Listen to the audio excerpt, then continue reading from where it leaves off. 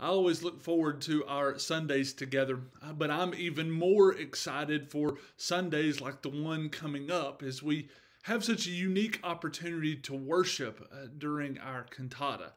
Uh, Mike Rose and our choir and the orchestra have been hard at work uh, preparing to help us experience the presence of God during this Advent season.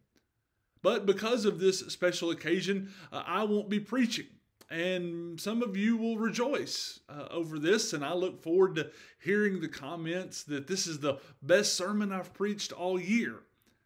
But I still wanted to share a few thoughts with you as we continue through our Advent season. Now, as I mentioned on Sunday, uh, John the Baptist plays a pretty significant role in the Advent season uh, because of his uh, purpose of preparing the way for the Lord. Nowhere is this more evident than in Luke chapter 3, verses 7 through 18, as John is preaching to the crowds that he refers to as a brood of vipers who have come to be baptized by him in the wilderness. Now, we can tell from this that John is not a fan of sugarcoating things, and I think this is because he understands the importance of our relationships with God.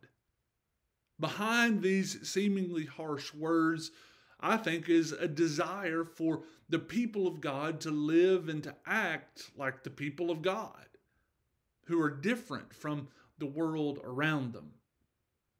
In the text, John the Baptist warns that baptism shouldn't just be an outward ritual and we shouldn't just go through the motions of it, but that it's something that should change our lives, change our hearts, change our minds.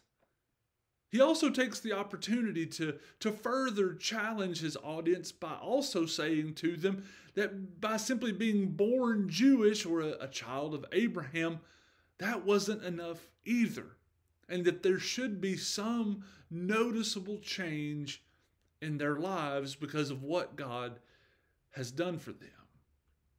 Now, as the text goes on, the, the perplexed religious crowd, now joined by tax collectors and soldiers, two groups considered to be uh, the least close to God's kingdom, ask John, What should we do? And then their uh, response from John is to simply be different. Help those in need Stop stealing from people. Stop um, taking advantage of others. Stop being unjust and immoral.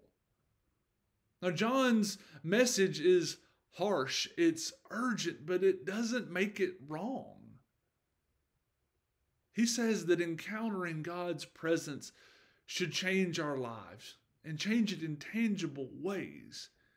He emphasizes this one final time as he uses the image of, of wheat and chaff.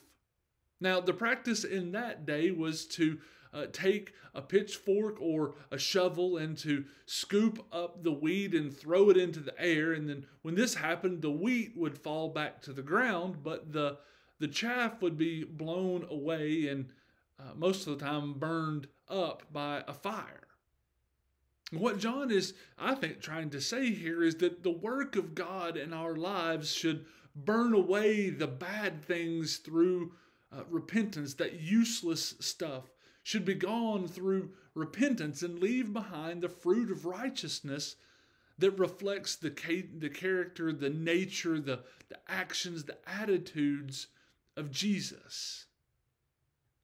Now, my prayer for us during this Advent season is that we just don't go through the motions or simply mindlessly participate in the, the rituals of Christmas, but rather allow God to use this time where we celebrate the coming near of God in Jesus to change our hearts, minds, and lives in tangible, noticeable ways that better reflect who Jesus is and what Jesus came into the world to accomplish. Now, as always, I hope everyone's doing well. I hope you all are staying safe and healthy. I hope you have a great rest of the week. And I really do look forward to worshiping with you all on Sunday morning, either on site or online, beginning at 8:30. Have a great rest of the day, and God bless.